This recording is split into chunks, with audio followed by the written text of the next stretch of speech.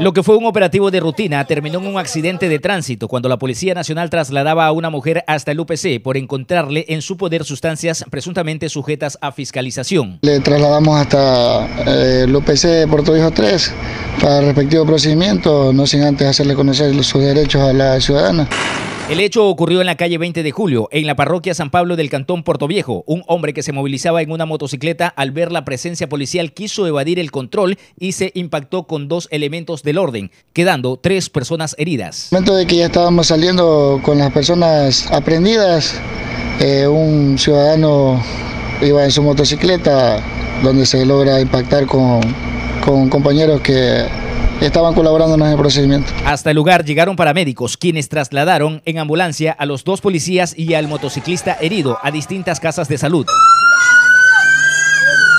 Posteriormente, la policía indicó que en el lugar del accidente se encontró un arma de fuego calibre 38 con seis municiones, la misma que portaba el motociclista. Al accidentado se le pudo observar un revólver calibre 38, marca Smith Wilson. Toda la evidencia, junto a las dos personas aprendidas, fueron puestas a órdenes de las autoridades competentes. Trasladarle hasta el CDP para posterior el día de mañana a la respectiva audiencia. Desde la provincia de Manabí informó Marcelo Ruiz, TC Televisión.